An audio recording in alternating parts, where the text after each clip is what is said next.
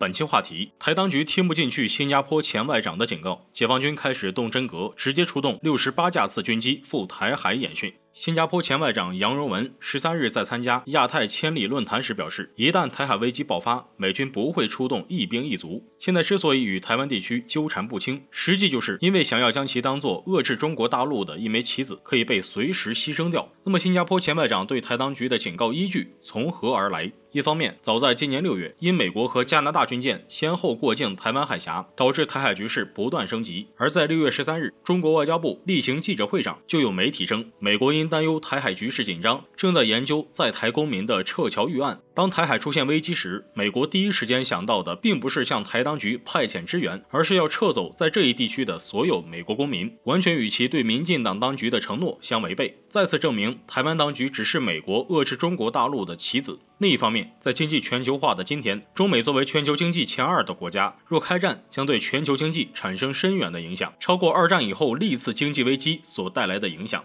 中美开战可能导致贸易壁垒的提高、全球供应链的干扰、投资信心的下降和金融市场的动荡。此外，中美开战还将产生一系列间接影响，包括能源市场的冲击、地缘政治风险的上升和全球不确定性的加剧。这样的损失是两国都无法承受的，美国绝不会自掘坟墓。此外，美国高层对援台的意愿并不大。对美国来说，台湾地区只是其捞金的工具，他们就是要制造紧张氛围，利用台当局妄图台独的小心思，对台军售赚取真金金白银。截止民进党当局二零一六年上台期间，用于向美国购买军备的金额已高达四千亿台币。与之相对应的是，截至二零二一年六月底，整个台湾地区负债五点六八万亿新台币，平均每个台湾人都要背负二十四点一万新台币的债务。台独成为了美方政客最可靠的提款机。对于杨荣文的警告，台当局非但没有听进去，还认为有损自己与美国、新加坡的外交关系。对此，国台办发言人朱凤莲对此回应称：“美国永远奉行美国优先的策略，台湾也不例外，只会成为美国的弃子，并敦促美方停止对台军售等错误行为。”那么，台当局不顾警告，一意孤行，会带来什么后果？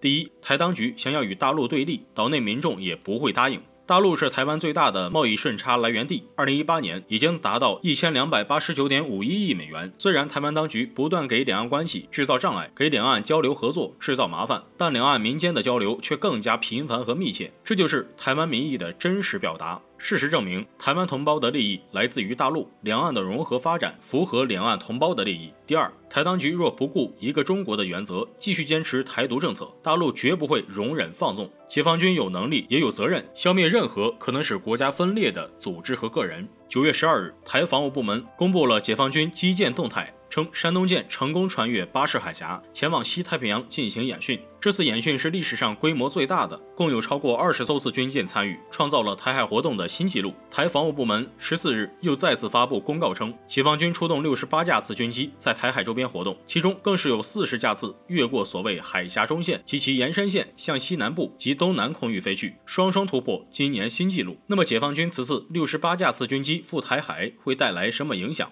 首先，解放军展示了两岸必须统一的战略意志，军机赴台海周边演训，就是为了正告台当局和美国，不要低估了中国大陆收复台湾的实力，更不要低估十四亿中国人民收复台湾省的决心。这一点也是中国大陆坚守自己立场的体现，并且得到了民众强烈的支持。其次，震慑美台勾连军演，事实上对台湾岛形成短暂封锁，对台湾打击之大，出乎很多人的意料。军演彰显了大陆的决心和军事实力。美军退到第一岛链之外，很可能成为新的常态。大陆势将迫使美方对未来与台方的政军交流做出限制。最后，把两岸统一步伐大大向前推进一步。台湾原来的防线被完全废除，没有了所谓的海峡中线，岛内失去了民心士气，两岸现状再也回不到过去。未来解放军进入台海周边演习的次数将会越来越频繁，美国和台当局应该早日明白这点。综合来说，解放军台海军演只是打击台独分裂势力的手段之一。若民进党当局和外部势力继续相互勾结，挑衅中国大陆，此次的六十八架军机就只是开始，未来的反制措施力度会更大，花样更多，台当局遭受的损失也将更严重，最终沦落到自食其果、自取灭亡的下场。春秋时期的殷福经曾写道。